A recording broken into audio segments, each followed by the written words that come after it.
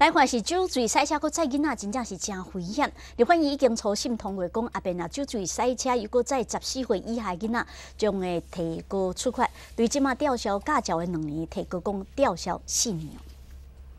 两千零八年一月，高雄一个啉酒醉开车的爸爸，啉到醉茫茫，说是载两个后生出门，结果是失控去弄到安全岛，坐在后边八岁后生，因为窗仔门无关，摔出去，互爸爸的车死，当场告死。啊，这爸爸伫正前就因为啉酒开车，互吊销驾照，即摆又搁啉到醉茫茫开车，就算讲警察加强处理，但是啉酒开车出车祸事件还是一直在发生。为了加强保护囡仔坐车安全，立法院交通委员会初审通过，将要提关啉酒开车民众的刑事责任。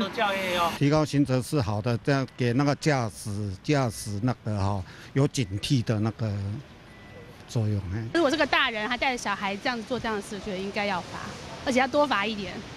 根据经政署的统计，为今年一月到十月为止，啉酒开车处理案件有九万八千多件，其中以上发办的有四万五千四百四十六件，死亡人数有三百四十四人。在道路交通管理处罚条例修正案内底，对啉酒开车的人，除了即卖罚金，还有刑事责任以外，未来车顶卡数在十四岁以下囡仔啉酒开车的人，若害人受伤，吊扣驾照会为即卖两年提悬到四年，啊，就算讲无人受伤，吊考驾照买为一年增加做两年，不过警界嘛烦恼讲，此地啉酒开车要查验乘客身份是实际上困难。年龄上的查证，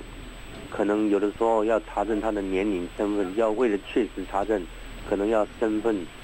哦核对，所以有可能会。会比较耽误时间。警政署表示，要处理这啉酒开车的人已经是真困扰啊，卡数个要查检囡仔年纪，可能就要用二三十分以上。不过未来卡数这法案三读过关，一定会配合加强宣导甲查缉。记者综合报道。